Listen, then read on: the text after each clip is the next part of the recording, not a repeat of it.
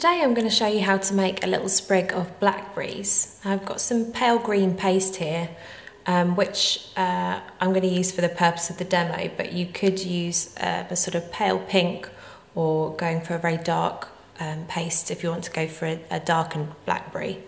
Um, I'm going to show them in different stages of ripening so I've started off with this pale green here. So I have a 22 gauge wire and it's a fairly short length and I'm just going to start off by bending a hook into the end like so. And then you want to take a sort of large pea sized amount of your paste. This can really vary on the size of blackberry that you want to achieve but I'm going to go for a fairly small one. And I'm just going to roll that into a ball. And then I'm going to dip the hooked end of my wire into a tiny bit of water you don't really want too much moisture here because you don't want the paste to become sticky, but just a little bit of water will help it to adhere to the paste. So I've inserted the hooked end into the ball and I'm just going to shape that. If you find it sticky at all then just use a little bit of corn flour. And blackberries really vary in shape so I'm going for a sort of slightly oval shape and it's slightly flatter. So it's uh, not completely round all the way around just gone for a little bit flatter. But again blue, uh, blackberries come in all, all different shapes and sizes so you can vary this. So once you've done that and it's all nice and secure you're just going to leave it to dry until it sets firm. And I have one that's already dried here So you're now going to start by rolling lots of little balls. Um, and again, you can vary the size on these, but I like to go fairly small, so they're probably about two millimeters in diameter.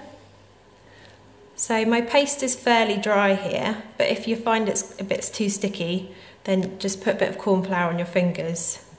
But I'm going to carry on pinching little amounts and just rolling them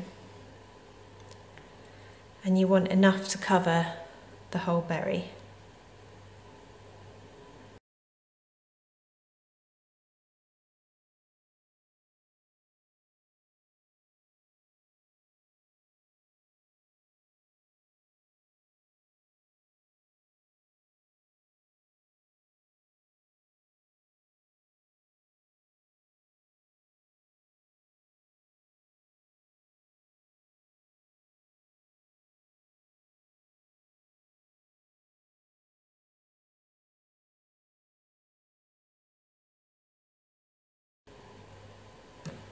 So I think that's probably going to be enough now.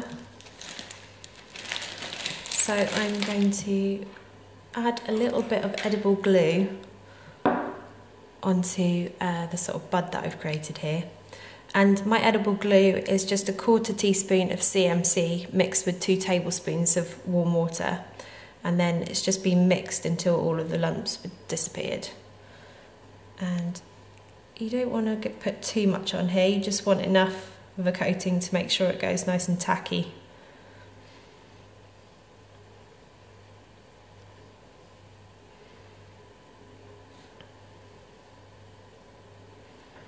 Make sure that you've got all surfaces covered.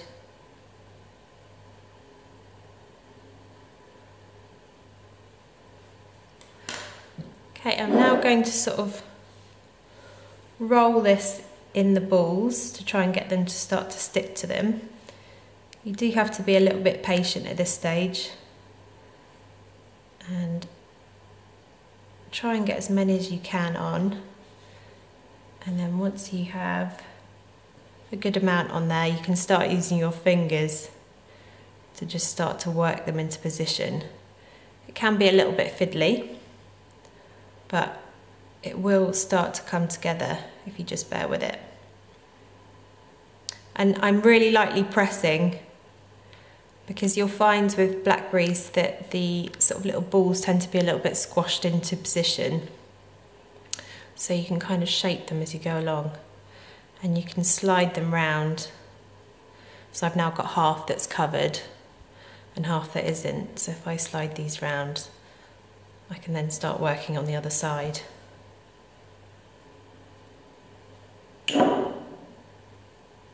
And you will find that they'll sort of fall off as you go along, but you just keep on adding and put, moving them into position.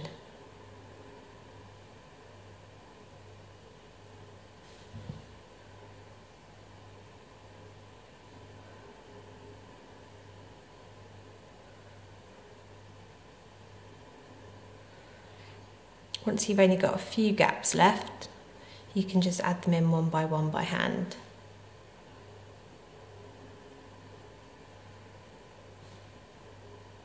And if at any point you find that it's just too sticky, just put a bit of cornstarch on your fingers. And that should help.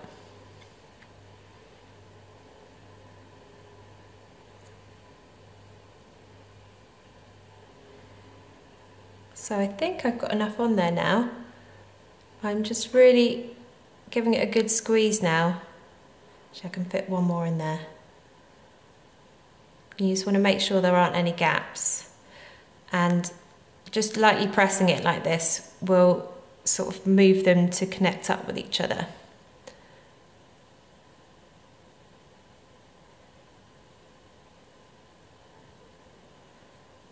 So that's all covered now. So I'm now going to leave that to dry for say half an hour and then we're just going to add a little sort of calyx to it.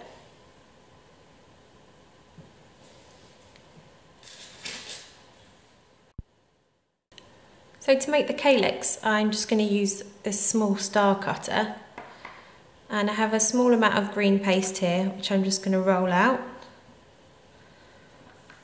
and you're going to go fairly thin.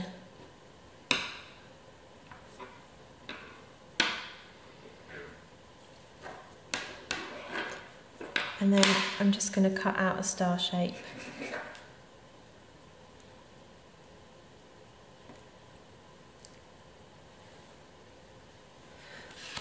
On my pad.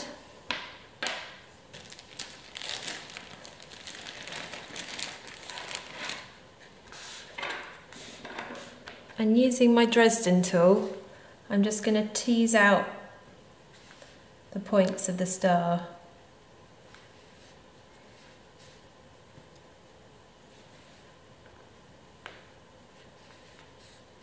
So you're thinning and lengthening them.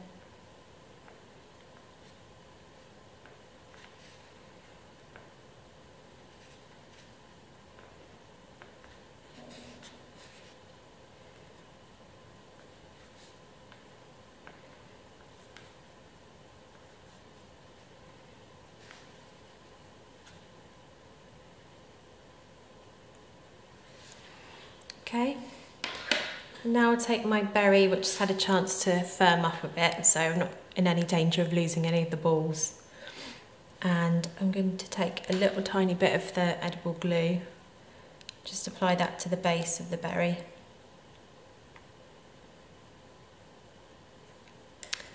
And then thread the calyx down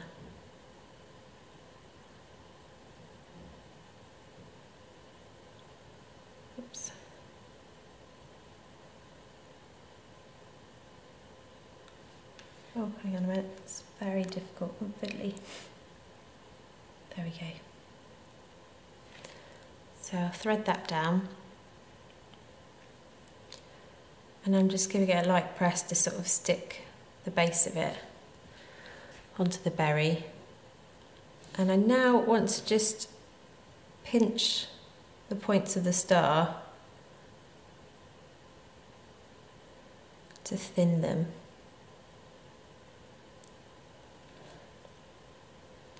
So give them an initial pinch.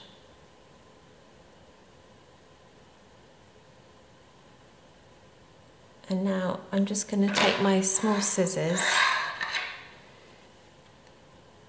and cut a tiny bit in between each of the star points just to lengthen these a bit. So I'm just doing really tiny snips and then you go around and pinch again.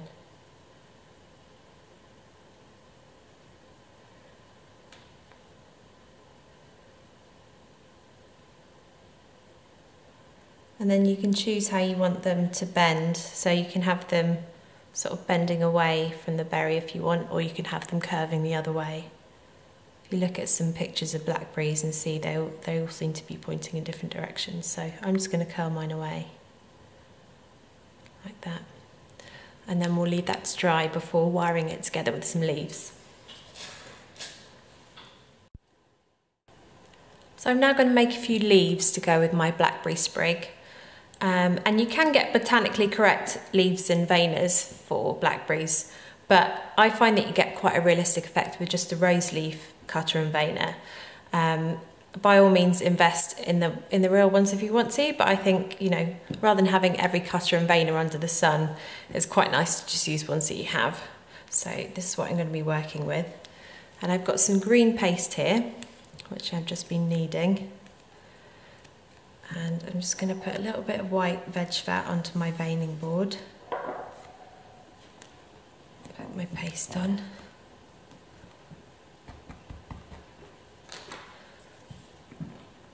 I'm just going to roll this out. Oops.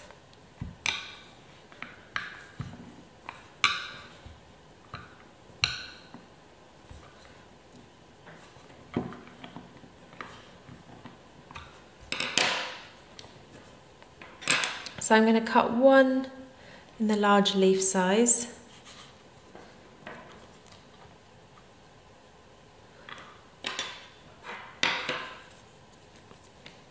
And then I'm going to do two of the smaller leaves.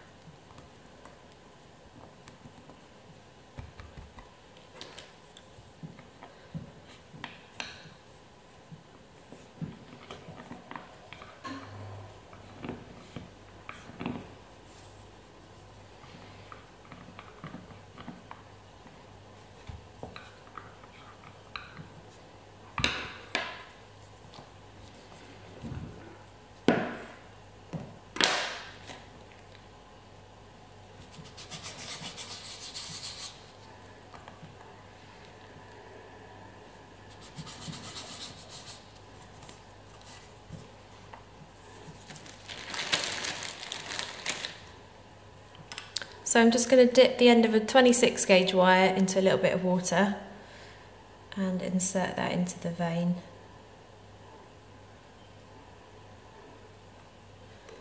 Do the same with the other leaves.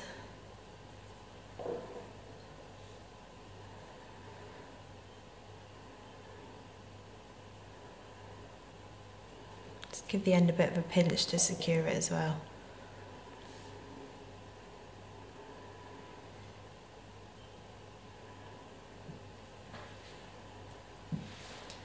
And then using my ball tool, I'm just going to thin the leaves a bit.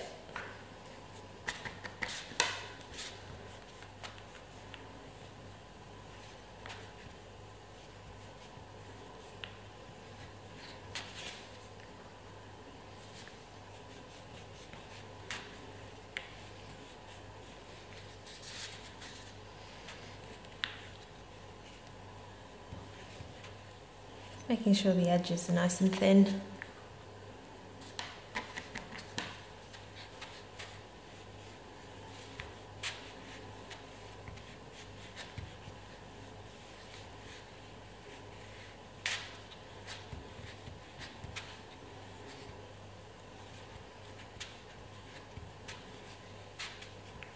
Okay, once you're happy with them, I'm just going to pop them in my veiner.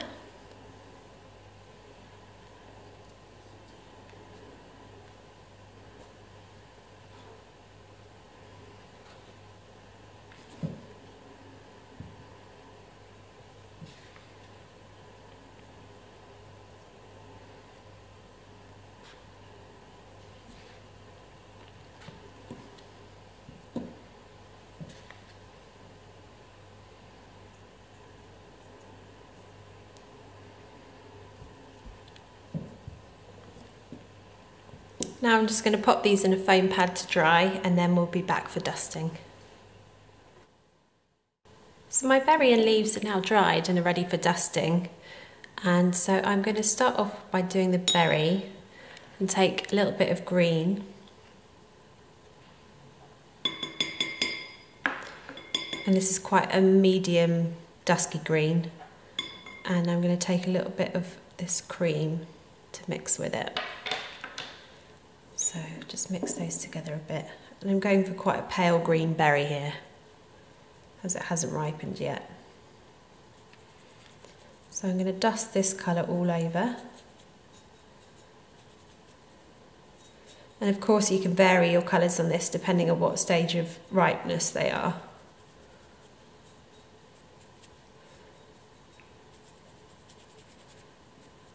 And if you want to add some touches to make some greener bits here and there, you can.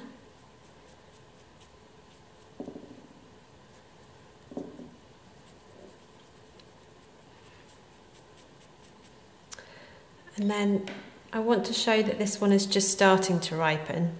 So I've got a strawberry pink here, sort of ready pink. And I'm going to mix that with a little bit this green, just to dull it slightly. And then just add some touches here and there as if the berry's just starting to blush. So just like that. And now I'm going to move on to dusting the calyx. So for the calyx I'm going to go for this kind of beigey green again and dust a layer of that over. But incorporating a bit more green than I did on the berry itself.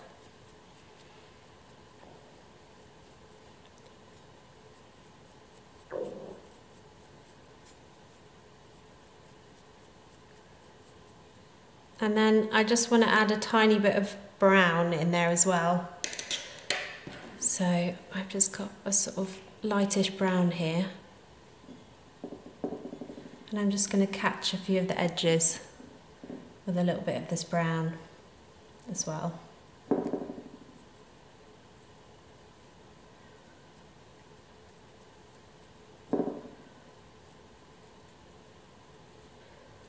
And that's my berry done. So have a play around with different colours for your berries as well.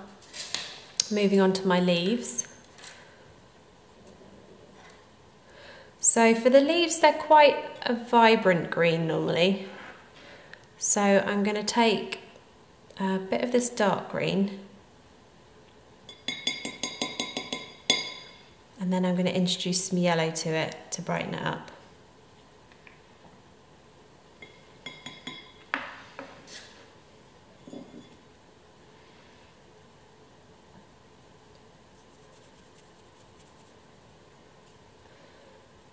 So I'm going to brush this colour all over and then I'll go in and just slightly darken patches of it.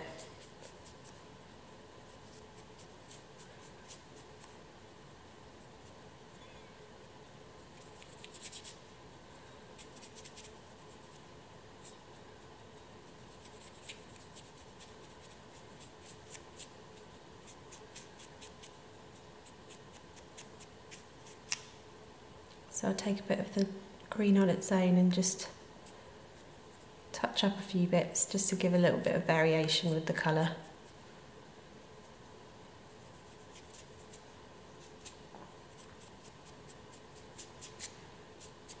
Then I'll do the same with the other two leaves.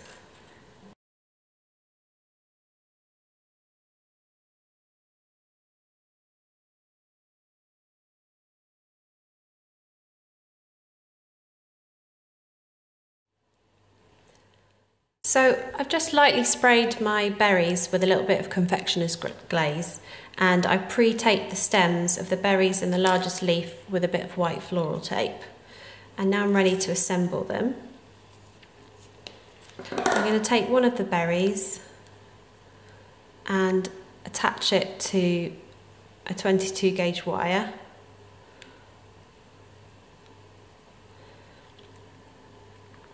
And then I'm just going to begin adding berries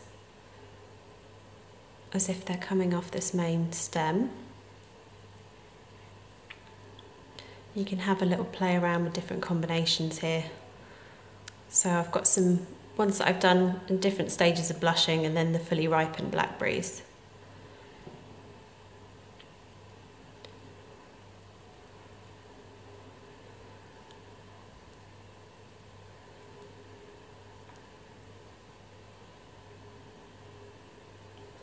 They do seem to branch off in different combinations so you can have a play around with how you want to arrange them.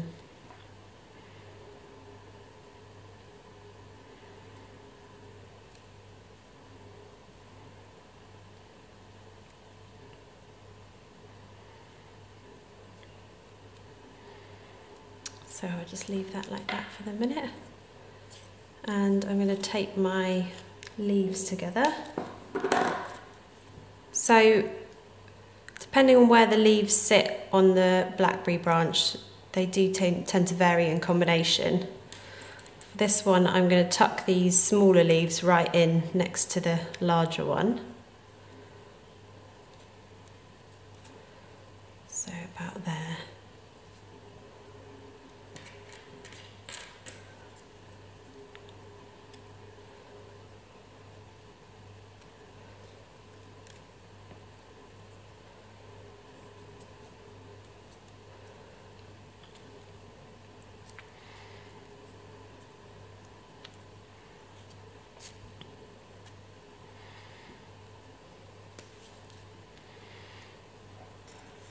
And then I'm just going to have this sprouting off the main stem.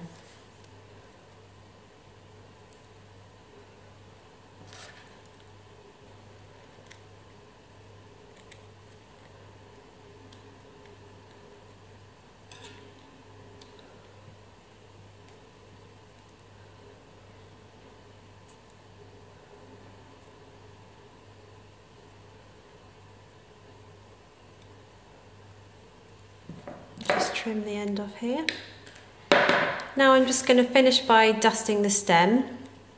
And this is a sort of, they're usually a pale green colour. And the reason I do this last rather than using the tape is quite often tape can be not quite the colour you want it to be. So if it's not the colour I want it, then I'll use a white tape and I'll just go in with some dust to get it the desired colour. So I'm just going to use a bit of my light green from earlier and dust that all over the stem.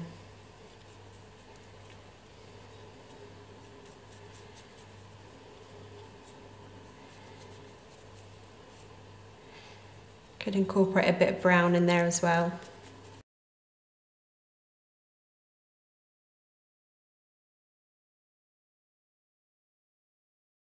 And then the final thing I'm going to do is just to spray the whole thing again with confectioner's glaze to get a really nice glossy finish on the berries and give the leaves a bit of a shine. And then that's complete.